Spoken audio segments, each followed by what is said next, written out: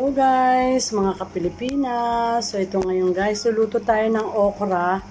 Cyprus style po ito. Uh, at least sa atin, pwede naman po to slow cooking sa kaserola. At least maiba naman yung yung luto ng ano nyo ng uh, ng okra nyo. Ito pa palang okra guys, ang ganda 'di ba? Baby corn talaga. Ay baby corn, baby okra talaga, fresh na fresh from the farm. Lagyan niyo po ng konting uh, suka. Yun po yung magpapaano eh. Ayan, konti lang. Yun po, tapos ihuhulog din yung suka doon sa sa kaserola. Yun po yung magpapalasa yung suka. Masarap po. So, ito na po yung ingredients sa tomato sauce, tsaka magic. Ayan. Ganito po una guys, ah, ipiprito nyo muna yung manok nyo. Ayan, ipiprito nyo muna. Pagka-prito, ipiprito tong patatas. Konti lang, papaanuhin lang, hindi pritong-prito.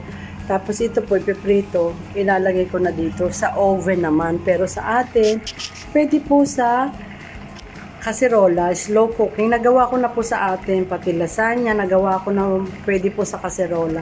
Ayan, pagka-prito, wait lang. So, ayan, ganyan. Konting prito lang po, hindi naman masyadong pritong-prito. Kasi titigas yung laman. So, ayan, konti lang. Doon natin lulutuin sa slow cooking.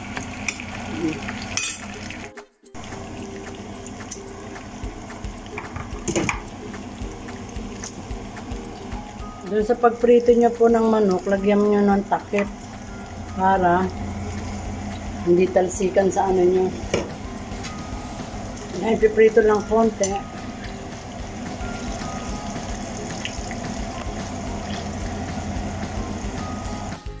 Ito guys, pati yung pinagprituhan, lahat ihuhulog nyo yung mantika. May lasa po doon. Andun yung lasa ng supang binabad na okra. Uh, one and a half na maji. Ayan. Hugasan ko siya. Dagdagan pa natin ng tubig. Ayan, konti lang guys. No need to fry all uh, strong. I mean, lahat. Kasi inaano lang natin para lumambot. Lalambot na rin yan sa ano, pagluto doon. Yan, ganyan lahat. So, ayan yung pinagbabara ng suka. Ihulog nyo.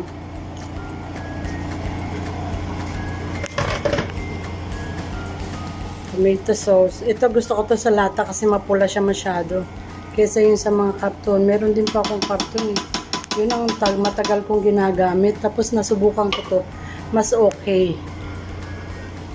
Tapos, ang water, lubog po siya. Lubog. Dadagdagan pa natin yung kailangan lubog siya.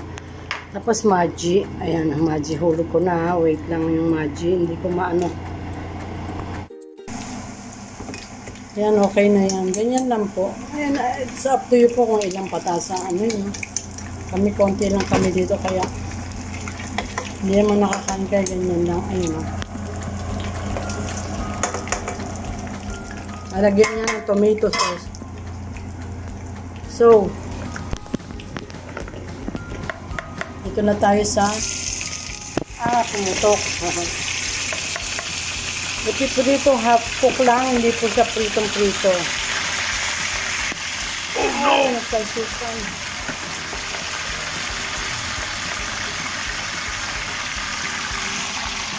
Konti lang. Yun pala naman, hindi ko nalagyan ng ulam. Konti lang guys. So, this is how we cook this. Uh, yan. Beef, ano po siya, lubog po siya. Ayan yung tubig, ah. Nakita nyo, naglagay ng tomato sauce. Tubig. Magic. Ayan. So, slow, ilagay na natin sa oven. Slow cooking siya. Pwede po sa atin to kaserola. Slow cooking. Kailangan nasa ilalim yung karne para lumambot. So, ganun, hot ganun. Ito yung unang pasilip sa ating nilagay sa oven. Aray ko, baka mapasok ako kakablog. Ayan, kumukulo na.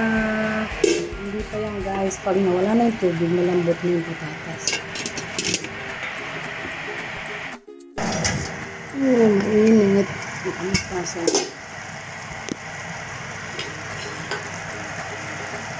Matigas pa, pero wala na siyang tubig.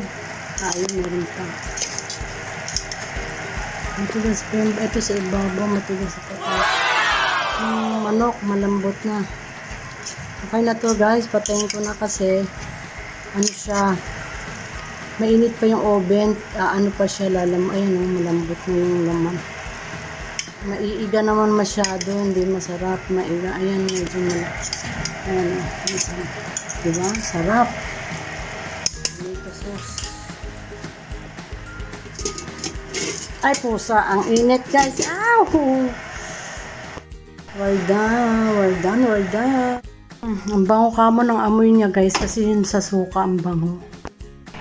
Yan. So, ayan. Nilagay ko na. Ang luto po niyan pag wala na siyang tubig. Luto na po. Yun po. Hindi naman to yung tuyo. Konti lang. Malambot na yun pag gano'n.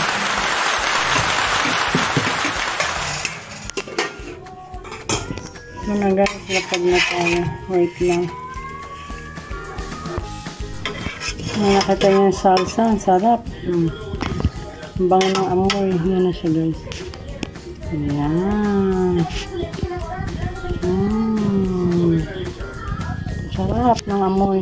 Try it guys. Sarap po talaga. Ay.